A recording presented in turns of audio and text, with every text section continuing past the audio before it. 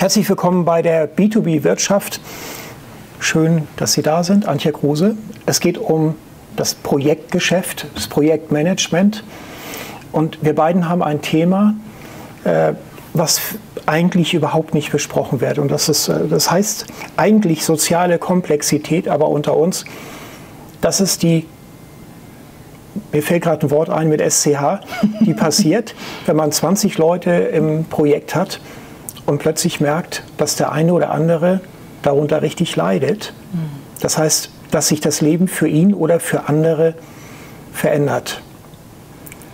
Wie macht man denn das? So richtig Bock haben die dann ja nicht mehr, da mitzuziehen. Nee, das stimmt. Zumindest, wenn man in so Phasen ankommt, wo diese Komplexität in so einen überkritischen Bereich kommt oder durch Konflikte und durch ähm, Widersprüche und Widerstand äh, in so Sphären ankommt, wo man sagt, da behindert es richtig. Zum einen die Stimmung, zum anderen aber auch wirklich die Ergebnisqualität und Menge. Man kommt einfach nicht voran. Und es fühlt sich tatsächlich richtig, SCH, Punkt, Punkt, Punkt an, dann da unterwegs zu sein in so einem sogenannten Team. Mhm. Die erste Frage ist dann natürlich, ab wann merkt man das eigentlich, wenn jemand so wie Sie unterwegs ist als, äh, ich sag mal, Leiter im Projektmanagement? Mhm. Ab wann merkt man denn eigentlich, dass jemand dadurch mehr betroffen ist, als man eigentlich fühlen kann, auch als die Leute vorher sagen, wahrscheinlich. Äh, wann, wann ist der Punkt? Eigentlich ist doch die Hälfte der Zeit schon rum, oder? Wenn es doof läuft, ja, tatsächlich. Ähm, und das ist, mal, also ich sage dann immer so, wir werden gerufen als Maßnahme für Schwerstkranke. Ähm, so, ne, das ist ein bisschen schade. Man könnte da deutlich früher ansetzen und damit bestimmte Entwicklungen verhindern. So, ne, wenn wir über soziale Komplexität ähm, sprechen im Projektgeschäft, dann ist die ja immer da, je nach Projektthema, mal mehr, mal weniger. By the way, es gibt auch eine inhaltliche Komplexität, eine technische, eine fachliche irgendwie, die ist aber oft leichter überschaubar. Dieses Soziale, das ist ja so zwischen den, zwischen den Zeilen, so die Dynamik, die zwischen den beteiligten Menschen entsteht. Und die muss ja entstehen, weil ähm, tatsächlich die Beteiligten, die da in irgendeinem Thema arbeiten, kommen aus unterschiedlichsten Bereichen, haben ganz unterschiedliche Interessen, worum es denen geht und äh, vertreten auch ganz unterschiedliche Haltungen, Meinungen, manchmal auch Ziele, ähm, auch wenn sie unter dem gleichen Projektziel arbeiten. Und das gehört auch dazu, weil erst dann entsteht ein richtig gutes Ergebnis, wenn möglichst viele Perspektiven und Sichtweisen in ein perfektes Projektergebnis eingebracht werden. So, und jetzt starten die alle. Am Anfang sind sie sehr höflich, sehr nett miteinander. Man legt erstmal los. Und das tun die Unternehmen in der Regel allein, weil sie nicht so richtig kommen sehen. Das ist wie mit so einem schönen Sommertag im Gebirge, wo man denkt, oh, bestes Wetter, wir machen Wanderung XY richtig schön raus. Und auf einmal kommen Wolken an den Horizont und dann geht es ganz schnell und man hat das fieseste Gewitter. Und so ist das manchmal im Projektgeschäft tatsächlich auch. Das fängt ganz easy an, alle zeigen sich von der Schokoladenseite, alle sind ganz konstruktiv, ganz produktiv. Und dann so im Tun, wenn so auch die Dynamik zulegt, die inhaltliche Komplexität zulegt, dann auf einmal fängt es an, mühsam zu werden. Für den einen für, später, für den anderen früher. Äh, und je nachdem, um was für ein Projektthema wir uns da sozusagen drehen, desto schwerwiegender oder massiver ist das dann, je nachdem, wie unterschiedlich auch die Interessenlagen und manchmal auch die Charaktere Charaktere der Beteiligten sind. So, und dann merke ich, ich habe keine Lust mehr zu diesen Projektmeetings zu gehen. Das bringt doch eh alles nichts. Hans Franz macht eh wieder ganz was anderes, als wir abgesprochen haben. Der nächste macht überhaupt nichts. Und Eva hätte schon längst mal was liefern sollen und macht es nicht irgendwie. Oder macht wieder was ganz anderes. Und wie greift man denn ein? So, und das ist die spannende Frage. Ne? Und in der Regel geht es erstmal so los, dass diese dann einfach genervt aus den Meetings gehen, ähm, entscheidungslos, ergebnislos losgehen, dass der Lenkungskreis, die Entscheiderebene irgendwie sagt, oh, so läuft es nicht. Und dann ist die Frage, ne, an, an welchem Punkt kommen wir aufs, auf den Plan? Und meistens sagt dann jemand, oh, wir holen uns mal jemanden, der klärt mal hier unsere, äh, Team, unsere, unsere Teamentwicklung oder hilft uns mal in einem Teamentwicklungsprozess ein Stück weiter. Und dann ist tatsächlich die Arbeit auf verschiedenen Ebenen von unserer Seite erforderlich. Nämlich das eine ist tatsächlich erstmal hinzugucken, was ist denn da los? Also, äh, um was für ein Thema handelt es sich? Ist das Projekt sauber aufgesetzt? Was ist der Hintergrund für den Ärger, der da gerade entsteht? Manchmal ist einfach schon in der Projektorganisation so viel schiefgegangen, Rollen, Verantwortlichkeiten nicht klar, Arbeitspakete nicht vernünftig abgesteckt. Da muss man Ärger kriegen miteinander. Manchmal liegt es aber tatsächlich auch in der Unterschiedlichkeit der beteiligten Leute oder den unterschiedlichen Interessenlagen. Und dann geht es darum, kriegen wir es hin, eine gute gemeinsame Basis zu definieren, wo wir als Projektteam darauf hinwollen und so diese Unterschiedlichkeit bewertungsfrei, nicht sagen das ist aber doof, sondern zu sagen, ah, ist interessant, dass du das anders siehst, ähm, das auf den Tisch zu bringen. Aber darf ich eingreifen? Das ist, ja, das ist ja total schön und das finde ich auch super. Aber jetzt komme ich mal mit zwei richtig blöden Sachen ein. Mhm. Der Chef hat die Anweisung gegeben, äh, diese Abteilung, äh, ich sag mal, fußt nur auf dem Spezialwissen einer Person. Mhm. Wir müssen das irgendwie breiter machen. Das kommt ja immer häufiger vor, ne? damit wir das standardisieren, das Ganze. Und diese Person hat natürlich jetzt nicht wirklich ein Interesse. Mhm. Also vorher war man, mhm. äh, Sie wissen, Frank Drabin, der spezielle Spezialist der Spezialeinheit. Ja.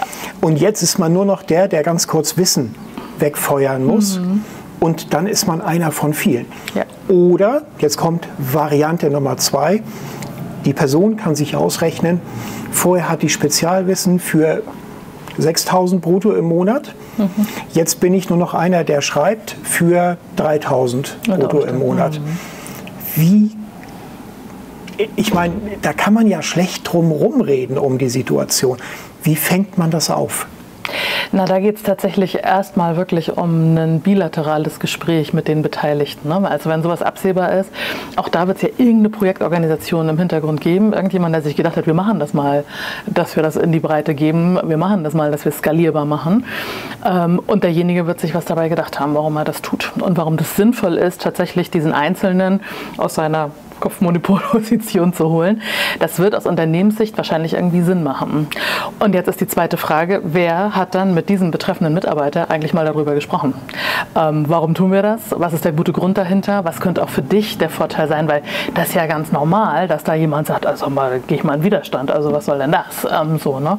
Äh, da könnt ihr mich mal. Sondern tatsächlich zu sagen, ähm, wer setzt sich eigentlich mit diesen Menschen so auseinander, ähm, dass da tatsächlich auch klar wird, wo die Handlungsnotwendigkeit Nachhaltigkeit auch auf lange Sicht fürs Unternehmen liegt und damit wahrscheinlich auch eine Sicherheit für die 6000 brutto ähm, auf lange Sicht. So, ne? Weil was nützt es mir, wenn ich der Einzige bin, aber damit am Markt nicht mehr tragfähig als Unternehmen ähm, und äh, wir damit dann gemeinsam untergehen? Das hat ja auch keinen Wert. So, ne? Also da geht es dann eigentlich eher um eine Führungsthematik äh, mit diesem speziellen Mitarbeitenden, den dafür zu gewinnen, warum das tatsächlich Sinn macht, das in die Breite zu geben und dann wirklich als Experte in eine entsprechend verantwortliche Rolle auch zu geben, sodass der er auch tatsächlich ein Stück weit das davon spürt, dass er die Expertenrolle hat und auch in gewisser Weise auch weiter ein Stück weit innehaben kann. Jetzt bin ich immer für die ganz bösen Überraschungen zuständig. Was passiert denn, wenn der sagt, vielen Dank, äh, ich habe gestern gerade ein wunderbares Angebot bekommen. Äh, hier ist noch meine Kündigung, übrigens für mich gar nicht gut. Äh, gehen Sie davon aus, dass ich morgen krank bin mhm. äh, und dann auch bis zum Dienstzeitende nicht wiederkomme. Mhm. Haben Sie solche Sachen schon mal erlebt? Ja. Wie handelt man da? Ja, also das ist, es gibt tatsächlich in Unternehmen, man glaubt das immer nicht, ne? es gibt teilweise Menschen, die sind die einzigen, die noch eine Computerschnittstelle ähm, pflegen und bedienen können. Kein anderer kann das mehr. Oder die sind die einzigen, die bestimmtes technisches Know-how haben. Es ist oft übrigens eher äh, im Bereich technische Komplexität, dass es so Kopfmonopole gibt, so Kopfrisiken sagen wir dazu auch immer, dass es nur noch ein oder zwei Menschen gibt, die das äh, Thema tragen. Das ist natürlich, wenn es dann auffällt, äh, wenn ich demjenigen das ein Stück weit abnehmen will, ähm, äußerst riskant und kritisch. So, ne? Und eine gute Projektplanung macht ein vernünftiges Risikomanagement und sagt, Mensch, das ist hier, wie hoch ist die Eintrittswahrscheinlichkeit, dass der geht und wie hoch wäre die Auswirkung und was können wir dagegen tun. Das heißt, bevor wir vielleicht anfangen, das Thema anzupacken, äh, anzupacken, dass wir tatsächlich erstmal. Das ist ein schöner, schöner, ja, ja, genau, schöner Versprecher, Versprecher ja. genau. Das Thema anzupacken, dass wir vielleicht gucken, können wir jemandem zweiten äh, tatsächlich ein Minimum an Wissen mit auf den Weg geben und zwar rechtzeitig irgendwie, was immer Sinn macht. Also wirklich Menschen einzelne Köpfe im Unternehmen zu haben, die bestimmte Themen können, gibt es oft, ist mega riskant. Der kann ja wirklich von kündigen bis krank werden bis keine Ahnung, ähm, immer mordsriskant. So, das sollte man sich auch in kleinen Unternehmen wirklich nicht antun. Ähm, so, ne? Aber zumindest ein Sicherheitsbackup muss ja nicht in der gleichen Qualität sein, ähm, zu haben.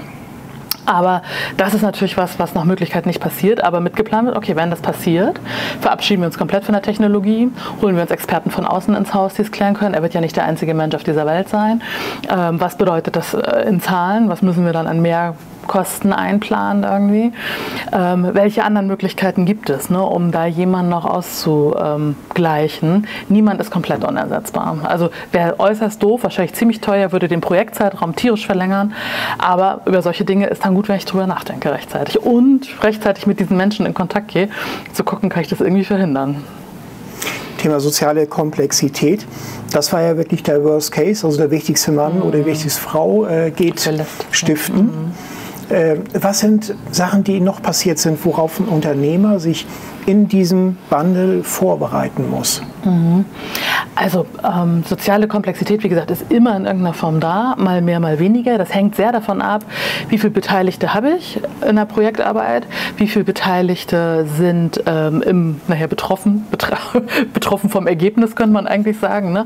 Kundenseitig, mitarbeitendenseitig und so hängt ein bisschen von Unternehmensgröße und auch von ähm, Rahmenbedingungen ab. Wenn ein Energieversorger sich entscheidet, wir wechseln das die gesamte Abrechnungsplattform, betrifft fast jeden kaufmännischen Prozess, dann hängt da deutlich mehr dahinter, als wenn ich entscheide im Handwerksbetrieb, meine Leute fahren jetzt mit dem iPad raus und können zu Hause starten.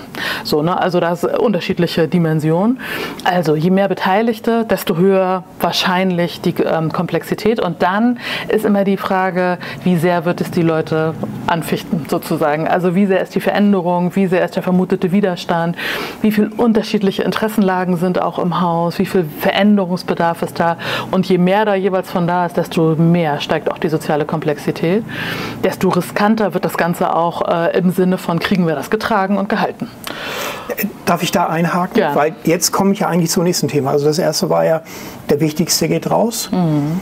Jetzt kommen wir zu dem Punkt, wie die DDR baden gegangen ist. Die Leute haben einfach nicht mehr mitgearbeitet. Mhm. Was machen Sie denn als Projektleiter oder was raten Sie dort, wenn wirklich die Situation eintritt, dass erst einer und dann zwei und dann drei und dann vier oder fünf sagen, ja, vielen Dank, die Aufgaben habe ich schon verstanden, die Sie mir rübergegeben haben. Lassen sich aber aufgrund der Arbeitsbelastung mhm. und so weiter und so fort. Dann machen Sie die dritte, vierte, fünfte Projektrunde, aber passiert nichts. es passiert nichts. Wir kennen es aus der Politik. Was mhm. macht man da? Also entscheidend ist tatsächlich ähm, Frage Nummer eins, wie ist eigentlich bis dahin die Kommunikation gelaufen? Also was an Kommunikation ist tatsächlich bei den Beteiligten angekommen? Ist klar, warum wir das brauchen als Unternehmen, was der Handlungsdruck ist, nach dem Motto, was passiert, wenn nichts passiert? Ähm, also ist das sauber kommuniziert worden? Warum müssen wir dieses Thema oder wollen wir dieses Thema jetzt angehen? Ist spürbar, dass so eine Unternehmensleitung auch wirklich dahinter steht und es wirklich wichtig findet und das auch unterstützt, also ein Kraftfeld schafft im Sinne von genügend Ressourcen zur Verfügung stellt, sich damit auseinandersetzt und das Thema auch vertritt. So, das sind immer schon so die Themen, wo es am Vorfeld meistens sehr gehakt hat. So, dann die nächste Thematik wir werden oft erst gerufen, wenn der Teil schon längst erledigt hätte sein müssen und nicht ist, weil dann genau kommt es zu solchen Situationen. Dann ist wirklich ähm, wichtig, sich mit der Unternehmensleitung neu hinsetzen, das nochmal aufzubrechen und zu gucken, ne, warum seid ihr da, wo ihr jetzt seid? Was genau wollt ihr denn jetzt eigentlich verändern und erreichen? Wo ist auch euer Anteil, dass ihr Dinge verändert, ähm, dass wir hier auf einen grünen Zweig kommen? Ähm, und dann setze ich mich in der Regel mit dem Projektleiter und dem Inner Circle im Projekt sozusagen in dem Kernteam und sage jetzt, Leute, was ist denn hier los? Los? So, ne? Und was müsste aus eurer Sicht passieren damit? Und gar nicht so sehr tief im Dreck rumwühlen, sondern eher lösungsorientiert hinzugucken und zu sagen, okay, wir müssen es machen, da ist der Handlungsdruck. Was ist aus eurer Sicht das Entscheidende, was jetzt passieren muss? Damit tatsächlich eine Bereitschaft entsteht, dass sich das Ganze wieder in Bewegung setzt. In der Regel liegt es daran, die Leute fühlen sich nicht gehört, denen ist der Hintergrund nicht vernünftig erklärt, die fühlen sich nicht gewertschätzt und die haben 25 Themen parallel und sind total genervt. Die wollen ja auch nicht, dass ihr Laden baden geht. Also so ein Grundinteresse ist in der Regel ja da, nur irgendwie, ich sage jetzt mal, eine massive Eingeschnapptheit, wenn ich in so eine Arbeitsverweigerung gehe, die gute Gründe hat aus deren Sicht.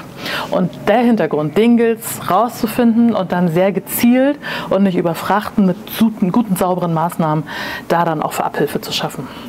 Das war ja jetzt die total nette Variante. Wann gehen Sie denn äh, nach dem Motto Frieden schaffen mit Handfeuerwaffen äh, zu der nächsten Stufe über, äh, wo man sagt, so Kevin Ole, du gehst jetzt auf die stille Treppe, du bist Teil der Vergangenheit dieses Unternehmens und wir als Teil der Zukunft des Unternehmens, wir machen jetzt gemeinsam, allerdings ohne dich weiter. Gibt es die Situation auch?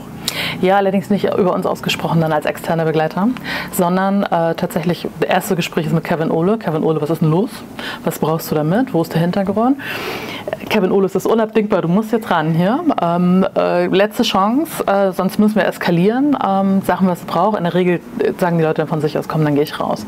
Ähm, wenn Kevin Ohle sagt, nö, ich bleib hier sitzen, ähm, dann sagt okay, dann gehe ich jetzt zu deiner Linienführungskraft ähm, und dann besprechen wir, ähm, wer dich ersetzen kann. Also tatsächlich, dann geht es über die Linie disziplinarischer Weg, dass zumindest jemand aus dem Projekt rausgenommen wird. Ich würde dann ja auch die Frage stellen, äh, was ist denn der gute Grund, weshalb er für dieses Unternehmen arbeitet, aber das ist dann Sache des auftraggebenden Unternehmens, das zu entscheiden. Also, wenn Sie nicht eskalieren möchten, äh, dann rate ich einfach Antje Kruse an. Wenn Sie eskalieren möchten, rufen Sie bei mir an. Und wenn Sie, äh, das einfach als Tipp nebenbei, wenn Sie eine wunder, wunder, wunderbare Location für Ihre Seminare äh, einmal buchen möchten, Ralf Schumacher Car Center, man kann zwischendurch runtergehen, mal ein paar Runden fahren und dann geht es oben wieder weiter. Ja, ein tolles Team-Event. Tolle, tolles Team-Event. Also ich Für glaub, jedes Projektteam. Können, können, wir wirklich empfehlen. genau. Vielen Dank fürs Zuschauen. Wir machen in anderer Form weiter. Genau. Ich sage vielen Dank bei der B2B-Wirtschaft. Vielen Dank. Weitere Berichte und Informationen zu diesem Thema finden Sie auf der Website www.b2b-wirtschaft.de.